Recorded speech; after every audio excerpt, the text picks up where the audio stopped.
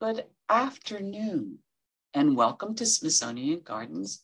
Let's Talk Gardens. We're so excited to have you here with us again. I, my name is Cindy Brown. I am the manager of collections, education, and access, and I will be your moderator today. And our guest today is Alex Dencker. Alex is one of our horticulturists, one of our many wonderful, marvelous horticulturists that are so uh, gifted in what they do. And he's going to talk to us about alternatives with using native plants instead of some of the plants that you may not want in your garden once you understand that the natives are better for the ecosystems and the habitats in the situation that situations that Alex is going to talk about. So if you have any questions, please put them in the chat box. I will curate the questions and ask them to Alex at the end of his presentation. If we don't have, get a chance to answer all the questions, we will be providing some of the answers on our website uh, in our video library and the information on that video library will be shown in the chat box. And that's where you can find all of our past videos as well. We do share them uh, save them and share them on our video library once they've been closed captioned and uh, everything is in good shape. So you can see all of our past uh, videos on that. We have an overabundance of attendees today. So I'm sure that video is going to be very popular when it gets posted up on the site. And if you would like to see the closed captions, please do put the CC, uh, press the CC button on your computer, and that will allow you to be able to see the closed captions that we're creating today. They won't be perfect, but they're pretty good. Uh, and with that, oh, and at the end of our presentation, you'll be sent a link to participate in a survey. This survey has been very important to us to understand who is coming to our webinars. We are participating in an American Public Gardens Association uh, program on sustainability. And one of those questions asks who is coming to our programs. So we'd like to know, and there are just a couple simple questions in a survey. We appreciate your help with filling that out at the end of the presentation. With that, Alex Dencker, native plant guru, will you please share with us your information that you have and excite us about some of these native plants that you think make great alternatives to the invasive plants that some of us have in our gardens. And we always want to say we're not against using all types of plants, but at Smithsonian Gardens, we do not encourage the use of plants that will overwhelm an ecosystem and not allow the native insects and birds have an opportunity to succeed in your gardens. So that's what we want to make sure that you understand that we're not anti-plant, we're against anti-bugs. Right, Alex? Right, exactly. Okay, so okay. I'll disappear. I'll see you at the end of the presentation. Thanks. Okay, thank you, Cindy. I appreciate all that. Um, so a couple things I'd like to do uh, through the through the talk here. I have a whole bunch of um, uh, invasives highlighted. We're going to talk about each one, and then I'm also going to try to, with each one, I'm going to try to to, to give you guys a really good alternative, at least one alternative for each one.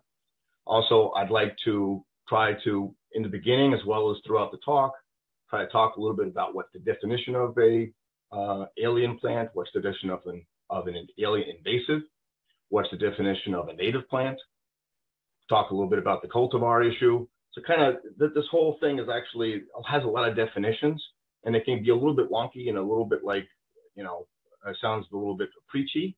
Don't want that to be that way.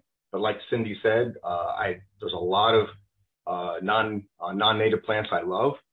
Um, but I think the big thing, best thing we could do right off the bat is stop um, uh, buying and stop stop using in our gardens ones that we know that have a proven track record. They're going to escape your yard and they're going to go into the green spaces around your neighborhood. Going to go into the uh, the public parks and the and and the, uh, the, the woodlands, and we, we can see the damage they make. Okay, so um, so what is, what is a native plant? Okay, and there's a lot of definitions. Uh, and this one here I, I, like a lot. to naturally occurring plant to a particular area or ecosystem uh, without without human uh, effort, without human introduction. And basically, at that point, almost by definition, then that plant then has a symbiotic relationship with each other, with everything from insects way up the food chain to birds.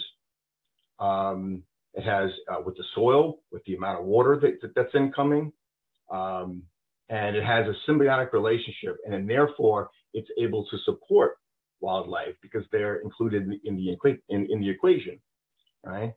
So where on the other side of it is uh, an invasive species, non-native, that's come here and uh, takes over, becomes a monoculture, if you will. It doesn't know when to stop, it has no off button, if you will, and it makes a mess.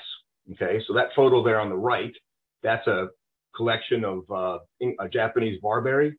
Uh, this is very close to where I walk my dog, about five miles from here in the woods, deep into the woods. All that green fuzz, that's Japanese barberry when it's in when it's in too much shade. It all turns green. And there's also a lot of Oriental bittersweet in there. So all the other stuff that's supposed to be there is gone. Okay. So there's no there's no little oak seedlings coming up. There's no uh, spring ephemerals. There's no ferns. Nothing. It's just this mush. So and that's the that's the damage. Okay. And on the other side of that, very very few, if any, insects can use Oriental bittersweet as their food. So not only does it take the place of the native species, but then has nothing to give in return. Okay, I mean, at least if it would replace it, but then oh, it did oh, it doesn't do that. so so it, it's a big mess. So okay, one other thing here that's really important is this talk. I'm not going to talk about kudzu. I'm not going to talk about multiflora rose. Yes, those are horrible invasives, but for the most part, you can't go to a garden center now and buy multiflora rose. You can't buy kudzu. Okay, the things I'll be talking about today are plants that are sold uh, in the in the trade. Uh, you can you can buy them. You can put them in your yard. They're still talked about as being beautiful and wonderful and terrific. Well, I'm gonna I'm gonna I'm gonna try to convince you. Why don't we try some other things here? Okay, because we know where this story ends. Okay. The scope of the problem, uh, as much as I said earlier, there's a couple good definitions there uh, from Chicago Botanic Garden. Uh, it basically outcompetes native species for, for resources, okay? And um, they have a certain, all these invasive species have again and again and again, you'll see every one of these slides, they put out tons of seeds, um, they have uh, sucker growth, um, and they all develop into a monoculture, okay? And the big picture is it's incredibly difficult, if at the very least, it's incredibly expensive to try to remove them, okay? uh, if not impossible. Okay. Um, so, and uh, one more quick thing before we get into our slides here for real. Uh, what are what are these native plants and uh, what is it that these native plants actually do? And the big thing is they provide four things for habitat. And I don't care if you're a bird, uh, a cardinal or a robin living around my house, or a polar bear or a grizzly bear or something living in uh, a grizzly bear living in uh, Yosemite, or um, uh, Yellowstone, everybody needs food, water, cover, and a place to raise their babies. Almost every creature. Okay, and that's not even even we do. We all need the same thing. Okay, so uh, and these these aliens will not. Uh, they, these invasive aliens take over an area, and that all these wonderful things are taken away. So it destroys the entire habitat. Okay. So moving on to the, uh, the, the first plant here, uh, was actually quite heavily planted in the 70s and 80s. I think often nowadays it's uh, looked upon as uh, a bad guy, if you will. I see it in a lot of websites now by a lot of states, uh, a couple Midwest states. I think Minnesota, Michigan, uh, Upper Midwest. There, it's considered um, uh, invasive alien. It's illegal to to buy and sell them. Um, the big thing is the gorgeous flower. It's very, very pretty there. If you kind of squint and kind of look at it there on the on the left in that neighborhood there in suburban Maryland. Um, but it seeds like crazy. And when it goes when it goes from this neighborhood into the woodlands, you see the photo on the right, it's not the same tree anymore. It's this gnarly thicket thing, and it's got these big old thorns on it. It's like it's it you can't even walk four feet because it's it's like a it's like a thicket. It's just really thick and dense. And uh, again, no no insect larvae can eat the leaves. Uh, I think bees might get on the flower, but you know, so it's other than that, there's not much. Okay. The big thing is it's completely out of place and doesn't belong here. So the big thing is imagine it goes into the forest, it leaves out, okay? When it's leafed out, it's taking the place of, let's say, an oak tree, which would be not leafed out yet. Well, now because it's leafed out earlier than it's supposed to be, underneath now it's dark, and all the spring ephemerals, things like columbine, mertensia, Virginia bluebells, all those things now are not going to get any sun, and they're going to slowly decline. So it's at a sequence to everything around and that's, and not to mention that it makes a monoculture, so it just keeps getting worse and worse. So uh, one of the, the guys I always thought would be a great uh, su um, a substitute would be uh, uh, Allegheny serviceberry, okay? Native plant, great fall color, fantastic uh, fruit in uh, late spring. Um, I would say in June, it's got great fall color. It's one of these plants that really is a four season plant. And when you see something like this, you're like, well, then what's the issue? Why, why not plant this? This is a wonderful plant. It's a great addition to any garden. Um, and there are uh, other species uh, that you could could also put in that are that are uh, as well. Okay, so that are uh, Amelanchier arborea uh, is another great one. Okay, so definitely, definitely, definitely should, should be planting more of these. I don't see them too much as a real street tree. So in that sense, might not be the best substitute for um, uh, the um, the Bradford, but I thought it was a good choice because of the white flower. But uh, got, again, fantastic fall color here as well. And by the way, uh, there's a there's several Lepidoptera species that use this as a host plant.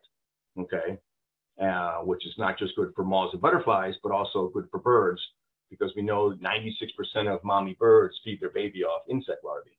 So that's good for the bird population. And then, of course, birds will go after the fruit.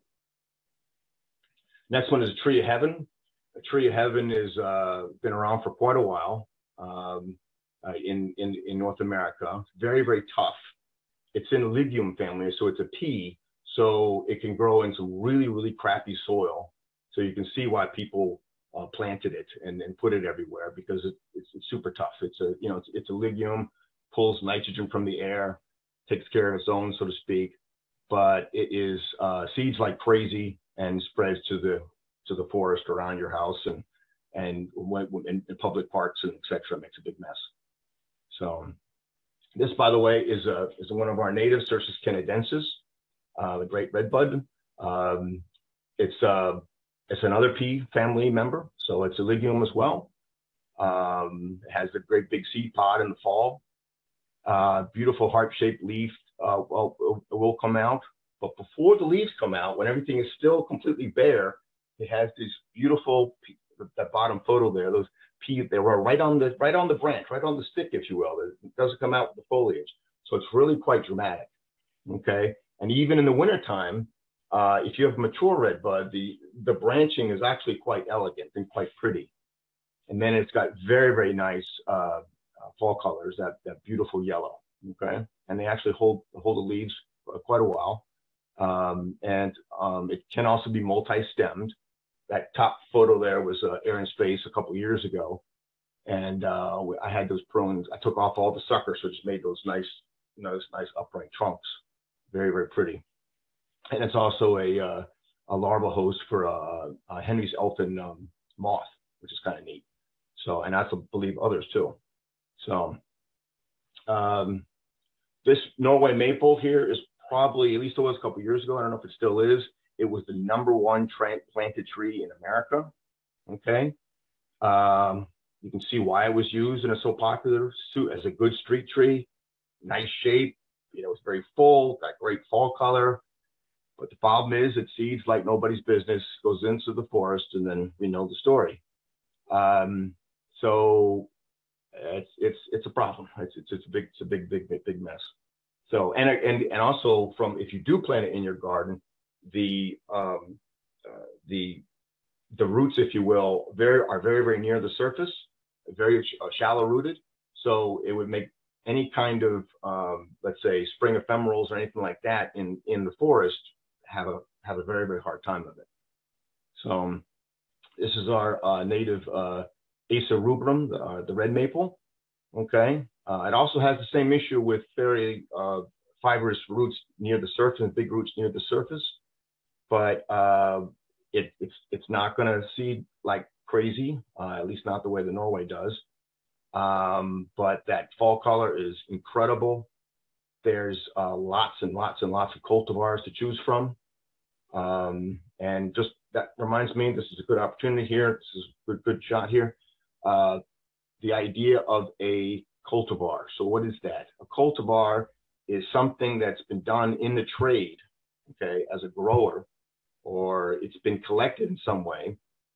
Uh, they they take a native plant and they they like the attribute. This one, out of all these, let's say Acer rubrums, this one particular Acer rubrum has a particular attribute that I like. Has incredible fall color, better than all these others. And then then they propagate it, put a name on it. Like there's one called Red October that has incredible fall color. Okay, and then that is sold as Acer rubrum Red October all over the United States. So anytime you buy an Acer rubrum Red October, they're all an exact clone of that exact same one from that from that original plant. Okay, so uh, there's a little bit of uh, gee whiz, what do we do now in the industry? Native plants are supposed to be boosting um, uh, biodiversity, but by having all these clones, we're actually in maybe in some wacky way reducing biodiversity because we're using the same one over and over and over and over and over again. So um, uh, that's a bit of a, something I, I think about a lot. There's a lot of research on that. Sometimes we are finding that pollinators are uh, actually going after sometimes the cultivars more. But I think that's kind of rare, I think. I think the big thing is if you are going to go for a flower, and we'll go show some other examples a little bit in a bit here.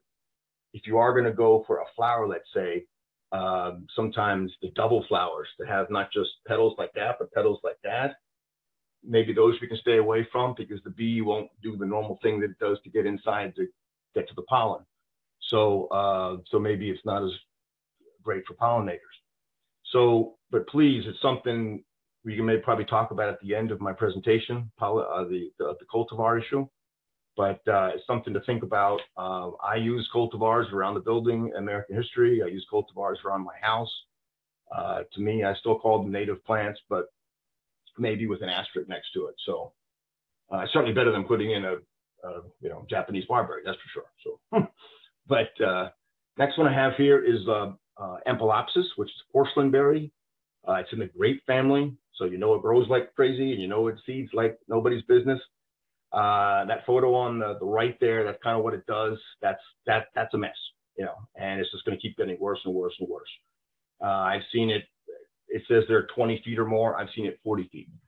So, um, and it's really, really hard to to control. The birds will come grab the berry, and they drop it 50 yards that way, 100 yards that way, and then it just proliferates very, very quickly. Okay. Uh, this is another great family uh, uh, member. This is um, Parthenocissus quinquefolia. So this guy is Virginia creeper. Okay. It can be used as a ground cover, very flat, very low. If it does, if it is in a lot of shade, right, it wants to find the sun. So it will climb a tree. Got to be careful of that. Uh, I've never seen it kill a tree. I've never seen it totally overwhelm a tree or swamp a tree like English ivy or porcelain berry. But you might want to keep your eyeball on it. It's probably nothing. I wouldn't say it's then low maintenance or no maintenance. You got to go out there every once in a while and maybe contain it because it does creep. Like it's what it's what it does, right? It's a creeper, but uh, it's got incredible fall color. And if you put it in the right spot and you have a big area, it could be nice and flat way in the back of your property somewhere. It does its job. It's a great thing. And if it climbs a tree like that on the right, who cares? It just as long as it doesn't go all the way to the top and kill the tree. If you have it near your house, it will probably climb the house. That's not a good idea, so I'd pull it off because um, it's trying to trying to find the sun. Okay. Uh, is another very very popular plant, uh, Chinese wisteria. See the photo there on the right, gorgeous, you know, presentation, gorgeous. When you walk up to that house, you go, wow, what an inviting place to to visit, you know. But then you see the, the mess on the left, and that's what happens to it. And um, uh, it's it's awful. Okay, and it's not just it has these these unbelievable, as big as probably your, maybe your pinky, these these runners that go. I guess part of the vine goes under, almost not on the ground, but it's almost on top, and you couldn't possibly uh, just pull them. You have to cut them, and they go in all directions, and then eventually vegetatively it will sprout from that upward makes it really really challenging to uh, try to try to control that or eradicate it or whatever you want to call it. It's, it's, it's rough. It's horrible. And the bad thing is there's no reason for it because we have two wonderful wisterias. One is Wisteria frutescens, and um, uh, that, that's the one on the uh, left there. Uh, I mean, it has that, that picture there. That's my backyard where they have that the bottom photo there with my tape measure. I just did that to show you how big that flowers every bit of seven, eight, nine inches. Okay, um, on the uh, frutescens, which is the American wisteria, kind of a lavendery, but on the um, um, uh, Wisteria macrostachys, it's, it's more of a bluish tint. But they're both um, wonderful uh, substitutes. I don't think anybody would be disappointed. Uh, I have mine in quite a bit of shade, so it doesn't flower as much, but it still flowers very, very heavy. And I'm still very happy with it. And it, it grows very moderately. I don't have to. It's not going to eat the house. Not going to eat the you know the neighbors or anything. It's it's a it's a great and it hasn't escaped. It's it's a great plant. So uh, and I haven't tried uh, macrostachys at my house or downtown at the museum, but I have tried frutescens and I'm very very happy with it. So and it's a great uh, substitute for the Chinese or Japanese wisteria. Oriental bittersweet. I see this all over the woods around my house, and it does that to every tree that I on the picture there on the right just climbing up that tree. Uh, and the birds come and grab this colorful uh, uh, berry looking thing, and whoop, away it goes. The right photo is the berry for the American bittersweet. Okay, so uh, you have to ID, it's pretty close, but uh, one is certainly better than the other, that's for sure. Okay. Uh, and one other thing is sometimes it's used in fall decorations. So if you get like, you know, you go to the store, you get this beautiful decoration, you put it on your front door, and then when the season is over, you throw it away, you put it in the compost pile, you're, you're throwing out the seed. So be careful of that. Okay. I thought a good substitute for uh, bittersweet, uh, the one bittersweet would be uh, crossvine, bignonia, one of my one of my favorite uh, vines. It's actually, uh, at least in my neighborhood here in suburban Maryland, it's a um, it's an evergreen. Occasionally, I'd say maybe one out of three or four years, it we have a really cold winter, it dies to the ground. And I was like, wow, maybe it's dead. Oh no. And then it, it came back like it was never even, um, it, it, totally unharmed. It was gorgeous. Um, very, very pretty. Uh, very nice, glossy, thick foliage. Uh, deer don't seem to, uh, to mess with it too much. Uh, but, and got that really nice trumpet flower. So it's good for hummingbirds. So it's a, it's a great plant and it blooms like crazy. So wonderful, wonderful plant. I, I almost never see it anywhere. So it's uh, easily found in the in the trade, but no one ever plants it, which is unfortunate. Uh, but this is probably the not just the essence, but the quintessence of this whole uh, this talk is is English ivy. Uh, people don't know it has that purple-looking berry uh, looking thing, and of course birds will come and take that, and away it goes, and they spread it. And uh, so that up top there is kind of the the uh, fruiting mechanism, and there's the, the, the product down there. People don't usually see that. They just see the thing on the left, see the way it's climbing that tree. So the Virginia creeper, in my knowledge, I've never seen Virginia creeper do that. So, but this is this is what English ivy does. It will climb this tree, and that tree is probably toast at some point here. So, uh, and if not, how how's the person going to manage that mess? You know? So it's it's it's horrible. So. Uh, one plant, you know, that we know so well is uh, a Pachysandra, regular little Pachysandra. But uh, there's the uh, Allegheny spurge, which is uh, native to our to, uh, to North America. Um, the new foliage is um, uh, kind of comes comes out that mottled, very interesting looking, you know, texture on top. You don't need to worry too much about last year's old foliage because the new stuff kind of comes out on top, and it's actually quite quite attractive. Uh, no, there's very very little maintenance. I see that photo there on the left. It's all mature now, and it turns nice and green. And uh, I don't see this very much either in the in public gardens, or I never see it in my neighborhood. No one ever has this. You have the regular, uh, you know, the, the the other dumb Pachysandra, but not this one. So that's unfortunate. So this is a great, great plant. So and in my in my neighborhood, I'm zone seven, it's it's uh, either at least semi-evergreen, if not most years uh, evergreen. So it's, it's really really pretty cool.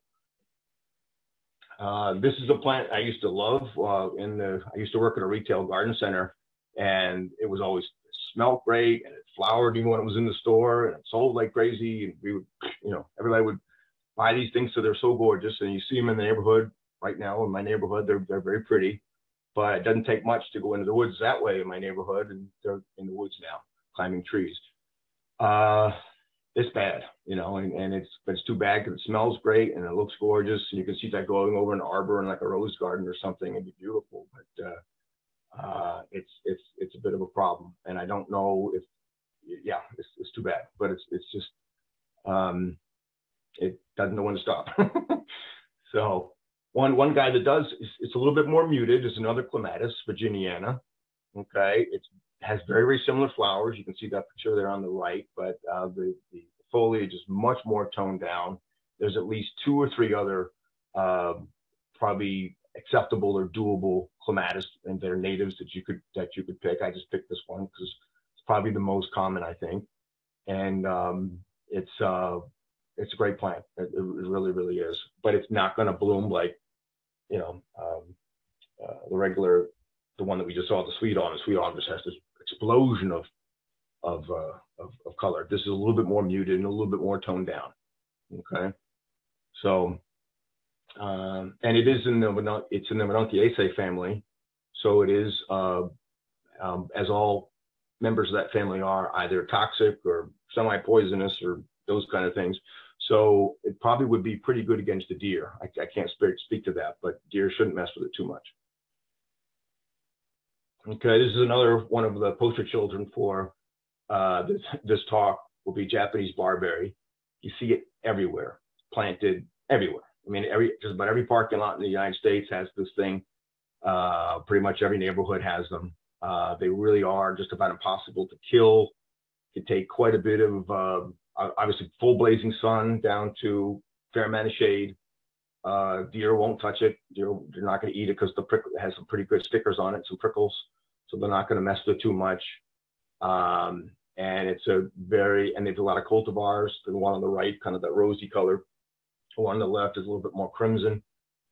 Okay. Uh, but uh, the bad thing is with this guy, the one of the worst things is is the birds will come and get the berry, and they bring it to the woods, drop it there, but because it can tolerate shade, right?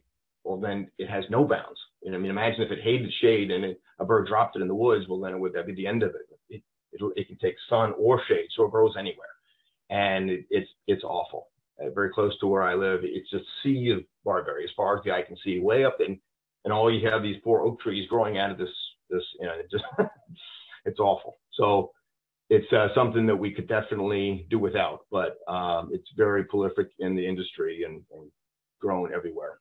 You know, so one of my favorite um, plants is Itea, um, Itea uh, virginica, and uh, it's another fantastic, you know, plant with incredible amount of um, versatility, full blazing sun, down to fair amount of shade, uh, great flowers in the spring amazing fall color.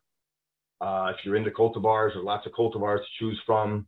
Uh, I have it in the rain garden at home. It, it, gets that much water.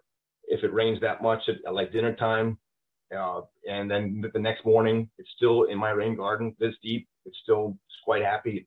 Tons of can't hurt it. Great plant. Uh, great, great fall color. Uh, if you're going to prune it, you could uh, prune it uh, right after it flowers if you want to, to keep it, maybe if it gets a little rangy for you.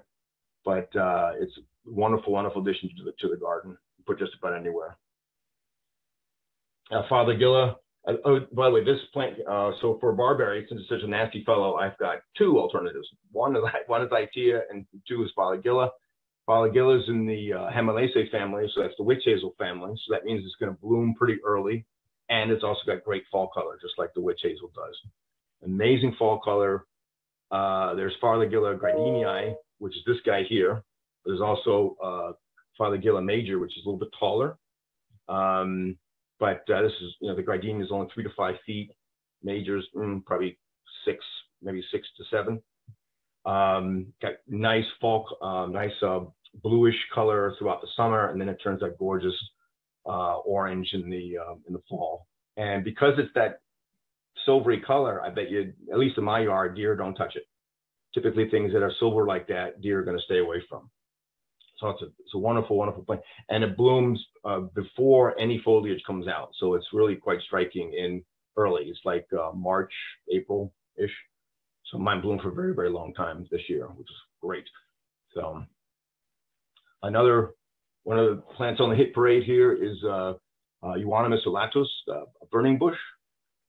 That beautiful plant. I mean, you got that is pretty, right? And that was in the woods. That it's pretty. But the problem is, it loves it so much. It just he loves himself so much, he spread himself everywhere.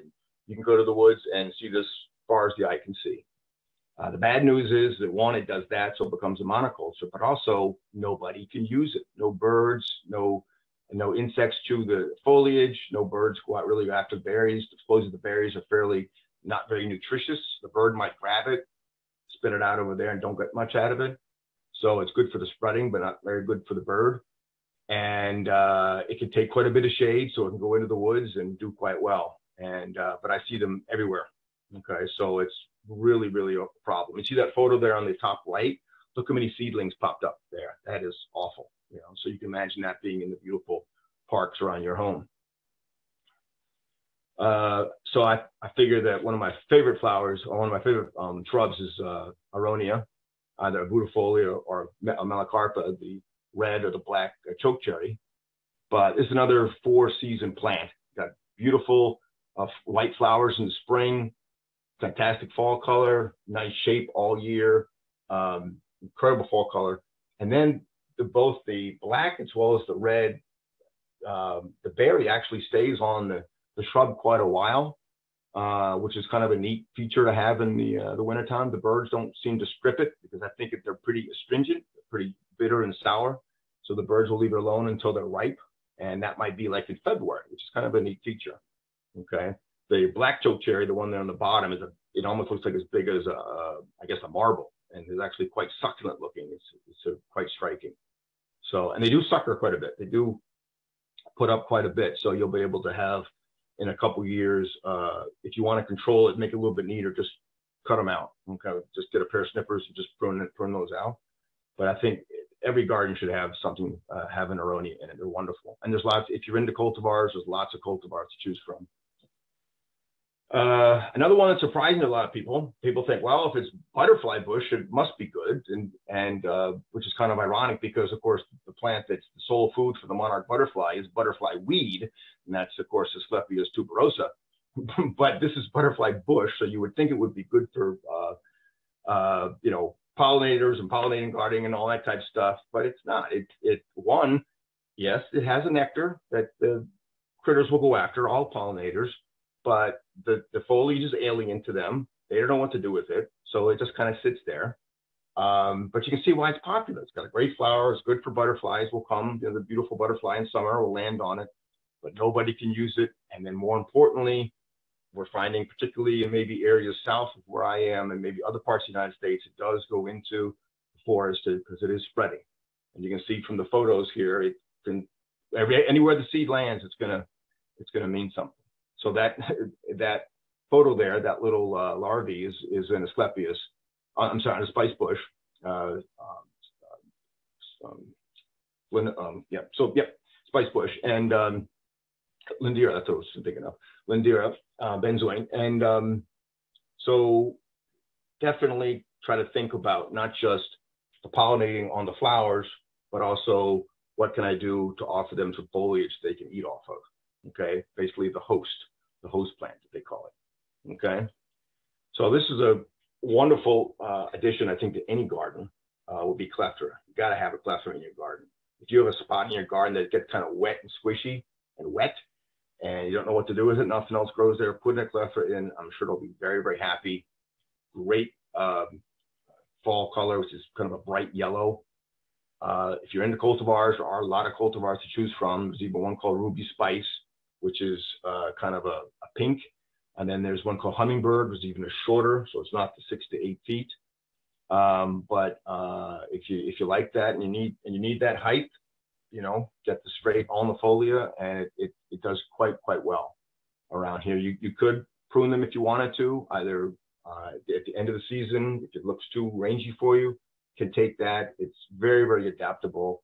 It's great for butterflies, bees, uh, even hummingbirds. So it's definitely something that I think that every garden should have.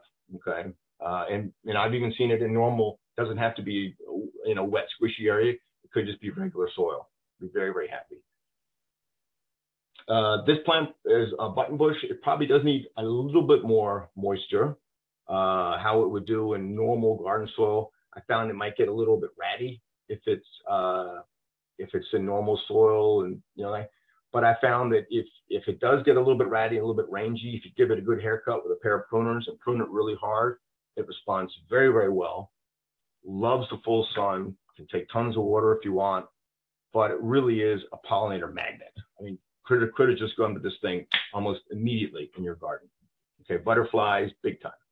So, and there's tons of uh, cultivars available.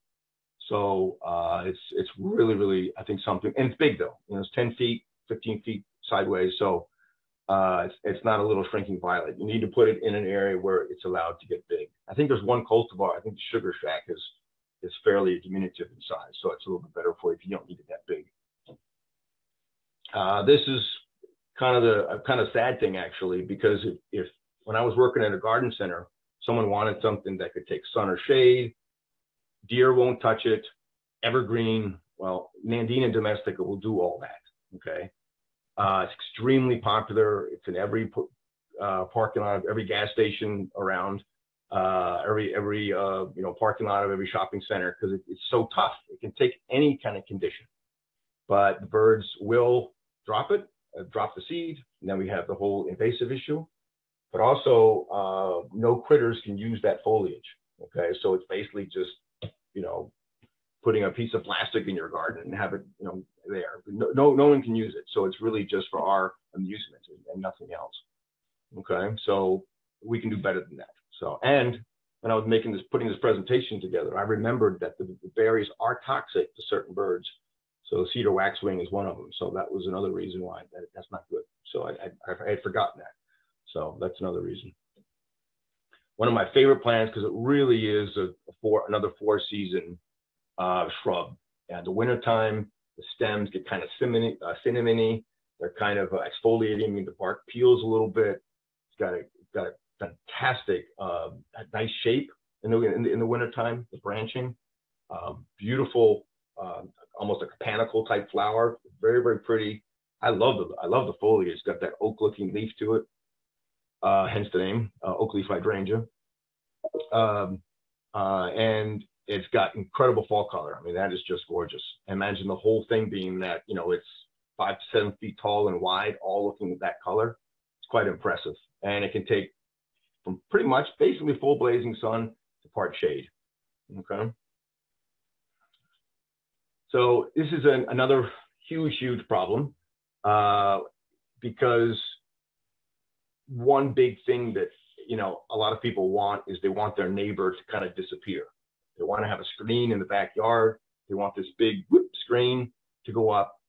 So they're either going to plant something like this, or they're going to plant, uh, you know, a Leyland cypress, or emerald green arborvitae, or uh, green giant arborvitae, or you know, some kind of screen. Well, in that sense, this thing does perfect. The only problem is bamboos. There's no off switch and it grows like nobody's business. So, and it and it's not necessarily by seed, it's by these it puts out another shoot, and that thing that comes up out of the ground is as hard as a rock. And to, to try to remove that is extremely difficult. Uh, it's extremely difficult, and it's like a bulldozer to any um, uh, any natural area that it would encounter. It just keeps going, and not, nothing would stop it. So it's really, really uh, a big, big problem. So and um, uh, my in-laws have it in their backyard from the neighbors. It's come under the fence now, and my my in-laws' fence is probably going to be destroyed at some point. But it's uh, it's it's a it's a big deal. So we and again, nothing can. There's no insect can use it. There's no butterfly that can eat this foliage. There's no flower that anybody. It's just big inert thing. You know, it's like plastic or steel, like metal. So, so I was thinking, you know, there's not that many broadleaf evergreen um, there's not that many broadleaf evergreens in the mid-Atlantic states where I live, you know. So, um, so there because people want that screen. But a couple of years ago, when I was at Air and Space, we had a thicket basically of, of these Ilex verticillatus winterberry planted, and it was done in a way that you could see that yeah, the leaves fall off. This is a this is a deciduous holly. The leaves will fall off, and actually it made kind of a screen. You don't really need to have all that stuff there. So that's kind of a neat way of thinking about it because there's not that many broadleaf evergreens here in the mid-Atlantic states. You know, there's you know there's inkberry and there's uh, Mount Laurel and you know uh, probably bayberry would be another one. But other than that, the list is pretty short, pretty quick.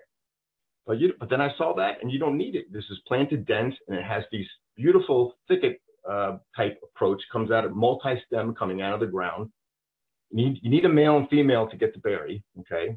Um, so that you need two. It's easily found in the industry. Got tons of cultivars if you're into that. Um, but it's a nice vase shape. And you can see there the photo on the right, that's fantastic yellow, beautiful uh, uh, fall color. It's gorgeous. So, and of course, birds are going to go covet the covet the berry.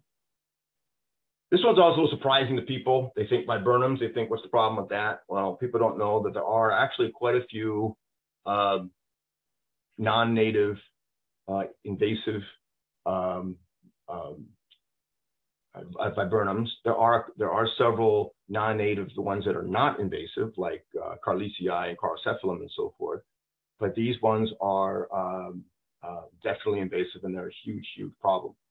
So the good news is there's no reason to go that direction because we've got two wonderful, at least two, uh, three. I could have made more slides just on viburnum. But this is viburnum dentatum, uh, the arrowwood. Uh, it's, it's, fantastic. It's uh, kind of a kind of woodland type effect, very tall and rangy in its old age. It's very lovely. See the picture there on the right. Uh, it is a host plant for uh, for, for several um, lepidoptera, several, several butterflies. Can get quite large um, and it has a nice purple, purplish, um, a berry, mm, probably May or June, somewhere in there, and uh, it's, it's it's great. So and and birds will come after the uh, the fruit big time. Um, and there's the, the, there's the fruit there. There's the fall color. It's it's a great plant. So I think every garden should have one of these too. So actually, this is one of my favorite plants. This is Viburnum nudum. Okay, uh, it's another one of our great natives. Uh, got fantastic uh, fall color on those berries. Birds will come and strip that off. And uh, look at that picture on the left with those berries. I mean, that looks like almost artificial. That's not Photoshop, by the way. That's real.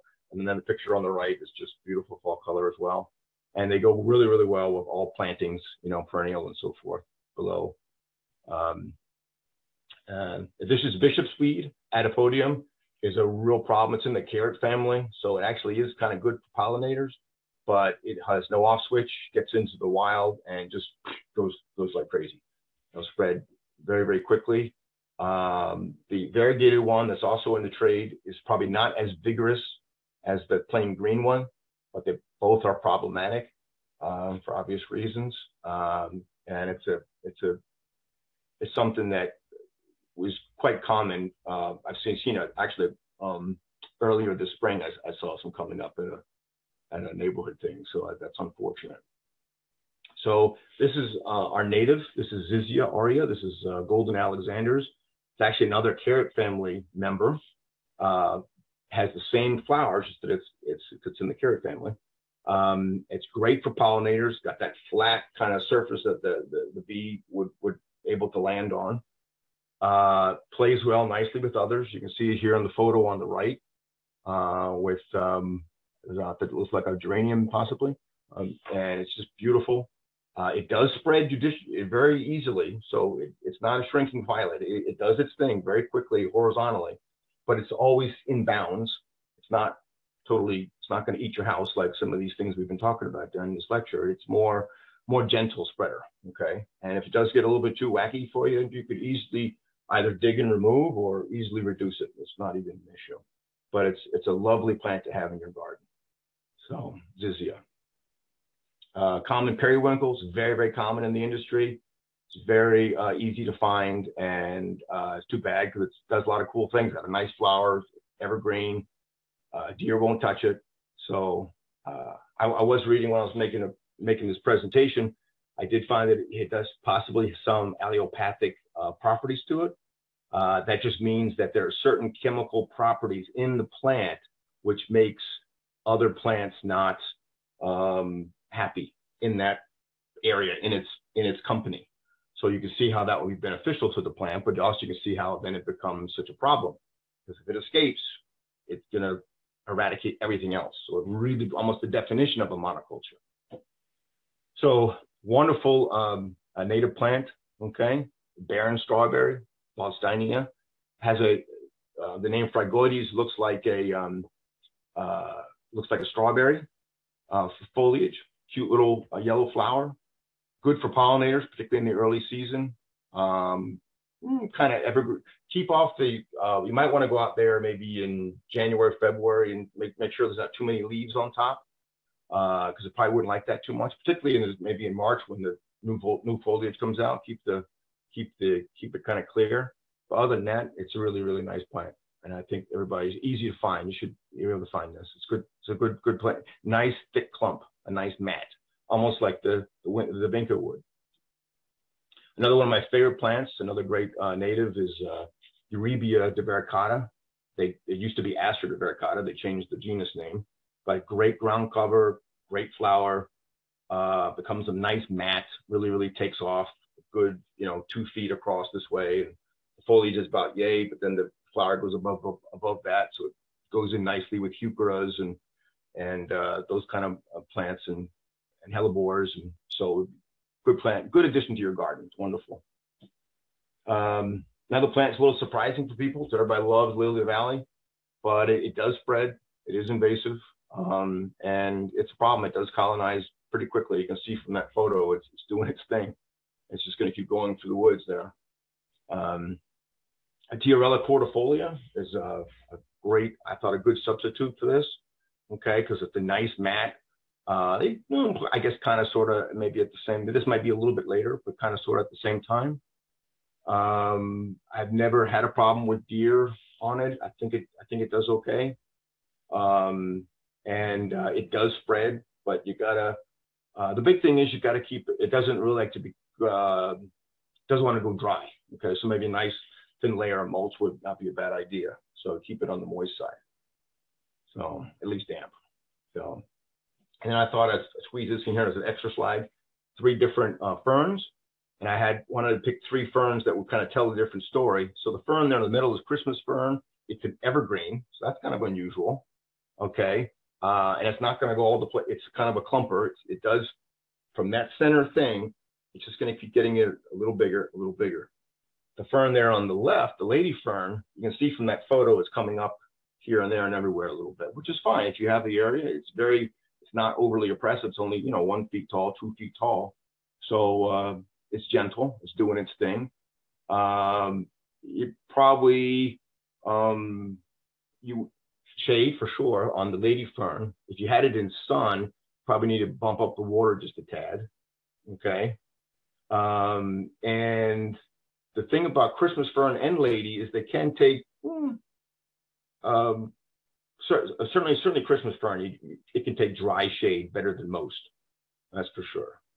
And I had to throw in cinnamon fern because it really is very, very elegant. I mean, wow, what a beauty! And I, I found so many beautiful pictures of of cinnamon fern when I was putting this presentation together. I didn't know which one. It's just a gorgeous, gorgeous, gorgeous plant. It looks like almost tropical. And then it, and then it has those those uh, those fronds coming out of the middle, that little cinnamony thing, and that looks really really special. So it does need moisture though. It probably so those on the left are more dry, and this guy over here would definitely be uh, on the on the moist side. Okay. Um, uh, Lythrums, purple loosestrife. If you go if you go in a car and you not so much around here, but like upper New York State, and Michigan, and Wisconsin, and so forth, on the roadsides and the wetlands, as far as the eye can see, and you can still see this sometimes sold. It's often sold as an aquatic plant, so it's a it's a bit of a problem. And um, uh, I was thinking that if you needed that upright shape, uh, by the way, because it's sad because lythrum is quite pretty. When you have it in the garden at just one, it it does has that purpley upright image that you see there. Okay, but it but it spreads and it's not native and it's not good. So whereas the Liatris, um, there are several different species to, to get. Um, this one is spicata. It's a little bit uh, clumpier, a little bit. You don't need to stake it. it. Stays fairly upright compared to some of the other ones. The other ones kind of I got some in my backyard uh, where they kind of lean over a little bit. This one is very very upright. Okay, um, and uh, I have it in my, I put it in here, I put it in my rain garden, but it's at the dry end because it would not like, it will rot if you have it too, you know, in soaking areas. But, um, and, uh, and to my knowledge, I put in here, but I, so I was, I my, foot. whenever I say this, I cross my fingers because everybody's a little bit different. Deer have not touched mine. So, which is, which is always a good thing. Okay. Another very tall upright guy would be uh, New York ironweed, uh, Vernonia and uh, very tall. It what, what's neat about this, this one is kind of a late mid a midsummer late bloomer. So it catches all those bees and butterflies when they need something to do, like in August, almost September. So it's um, very tall and it's a wonderful plant, and everybody should have one. It's it's really really cool. So uh, Houttuynia, we have some in American history that I've been trying to eradicate now for about two years now. Um, you can ID it very easily if you're down there and you're weeding and it's a weird fishy smell. That's uh, Houttuynia. Okay, it's also called the chameleon plant. It is kind of pretty, I'll give it that. And there are different, uh, lots of different colors, really nice red stem, a lot going on, but it will spread like crazy, just like we said a hundred times now. Go into the woods and make a mess. Uh, and I thought I would try two, two uh, uh, Carexes, two sedges, to uh, be a good substitute. Okay, um, and uh, great, great natives. I have both these in my backyard, both in my rain garden, and they both get flooded whenever it rains and quite happy, getting fatter all the time this way, horizontally, holes onto the soil. No weeds are going to be in there. It's a wonderful, wonderful thing. And because the tusset moth, which is the, uh, um, you know, the, the, the which is um, a stricta, is a, um, a host plant for Lepidopterus, which is kind of cool and uh, they both are actually. And so it, that's kind of a you can't you can't miss with that. And actually, they're quite attractive. So I mean, with that beauty and that cool stuff, why would you plant a, a Princess Lariete? You would need to. And that's just it's wonderful. So, um, and uh, let's see here. This is my grass. I put all the grasses on one page, and just so we can put them in a big bag and beat up on the bag all at once. Um, so I think these are miscanthus is all over the woods around my neighborhood uh, and always on the edge because they don't like the shade. They stay right on the edge, but they're they're horrendous. I haven't seen too much pampas grass escape, but um, it's it's it is what it is. And what's too bad about it because we have these wonderful grasses here that are available to us that are actually, believe it or not, host plants. Who knew? Host plants for butterflies or on grasses. I mean, who would have thunk that? But it's it's a wonderful thing. This is Schizachyrium, the one on the left, the little blue stem. It's got this incredible uh, pinkish purplish color all summer long. And then when you go into the fall, the whole thing turns pinkish purplish. All of a sudden it goes purplish orange. And the whole thing is just amazing. We have a couple of uh, American history right now that are gorgeous. Um, and Panicum, the one on the far right, is actually pretty good size.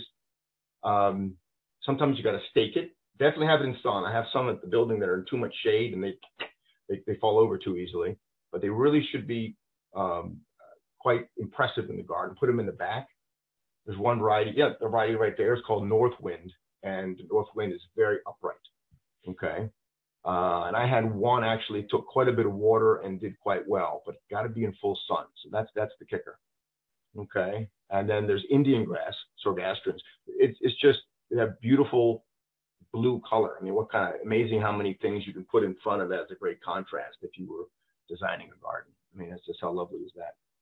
So, um, so yeah, so grasses are uh, a whole new ball of wax. You probably could have just one almost any one of the things that I talked about today, you could probably put in a in a, uh, a presentation on. So we can do one just on grasses, native grasses.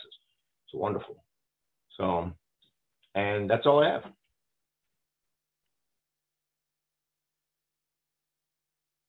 I'm coming back. I'm quickly answering questions on the the chat box and Q and A. So thank you, Alex. That was just terrific. There's so much to learn on this topic, so much controversy on this topic. Like, how do you determine if something's native? Where is native? What is native? Right. When is native? All that. So right. we'll have to have another discussion yes, just absolutely. to tackle that. Because um, you know, uh, for instance, like if like if uh, take like Fothergilla or even the oak leaf hydrangea, mm-hmm. those are native plants, but they're not native to where I live in Maryland. Maybe, maybe if they're native to uh, like Western Maryland, close to West Virginia, in the mountains, but they're not native to my to my area. But I would put them in my garden, and I'm going to call that a native plant, right? Right. Uh, certainly better than a. Then you can say, well, yeah, I know because it's better than a than a Japanese barberry, right? For for obvious reasons. So um, the definition, I know, like I said earlier, I know it sounds a little wonky, and you might want to you know roll your eyes a little bit about all these definitions and why don't make it so complicated. I I, choose, I garden because I want to have fun, but uh, I got it absolutely.